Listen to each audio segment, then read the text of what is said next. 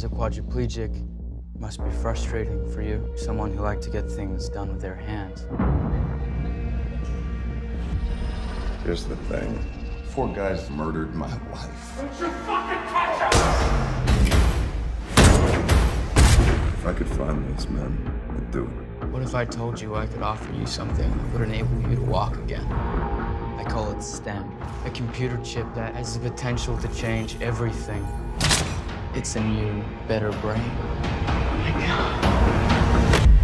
I am STEM, the system operating your body for you.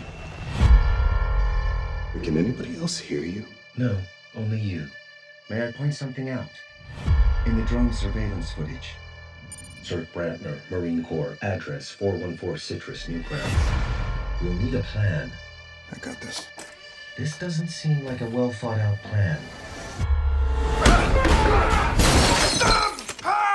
I need your permission to operate independently. Permission granted! Thank you.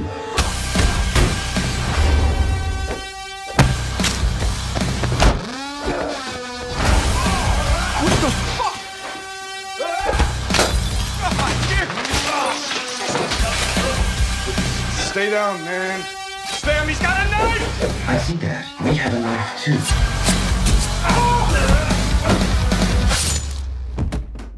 Have full control again, Gray.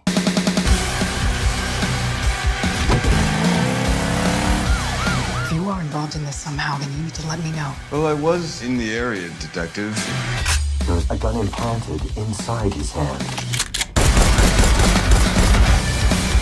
STEM, what do you think I should do? Move, Gray. Man, you are persistent.